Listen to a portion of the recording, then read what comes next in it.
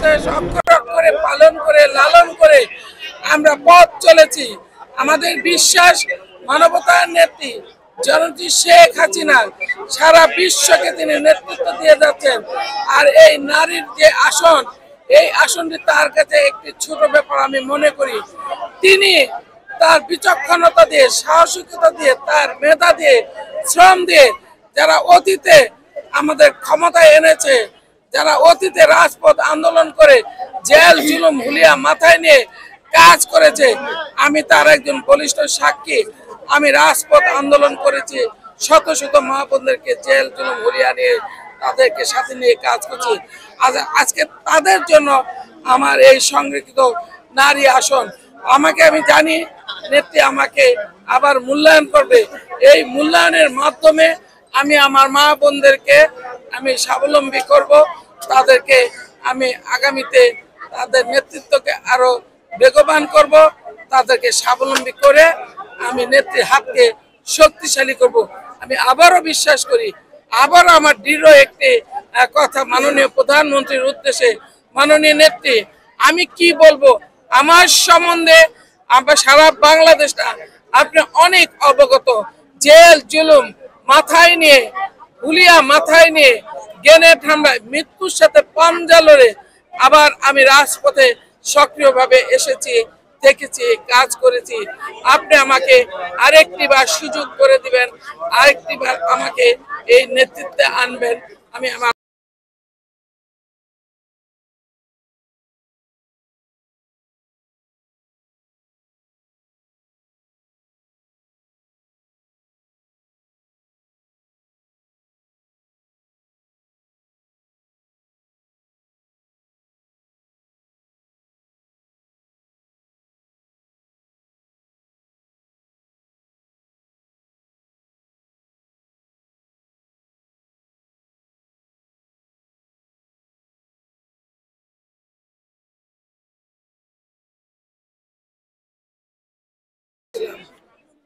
সামনে আপনার পরিকল্পনা কি, নির্বাচন আমার পরিকল্পনা মাননীয় প্রধানমন্ত্রী, আমি বিশ্বাস করি, আস্থা রাখি, আমাকে তিনি আবার সম্মানের সহিত আবার আমাকে মূল্যায়ন করবে, সংসদ সদস্য বানাবে।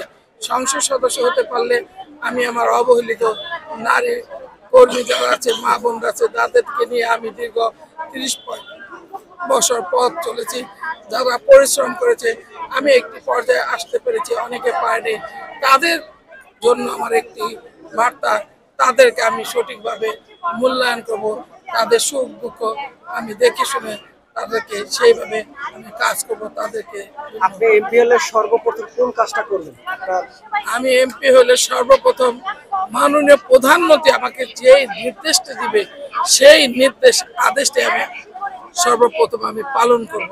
এরপরে আমি আমার এলাকার আমার মা বোনদের জন্য তাদেরকে স্বাবলম্বী করার জন্য সন্ত্রাস মুক্ত চাঁদাবাজ মুক্ত একটি সমাজ তৈরি করার জন্য যা যা করণীয়, আমি তাই দেখব করব এবং নারীর ক্ষমতায়ন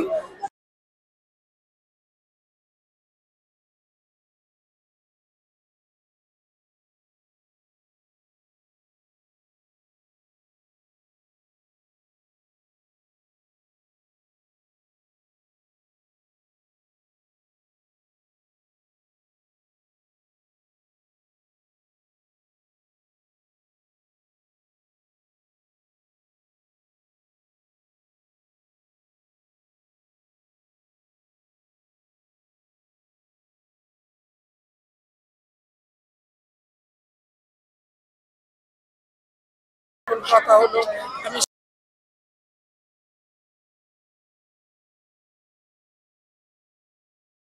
আরেকটু সুযোগ পাবো। পাঁচ বছর বসতে বসতে অনেক সময় গেছে।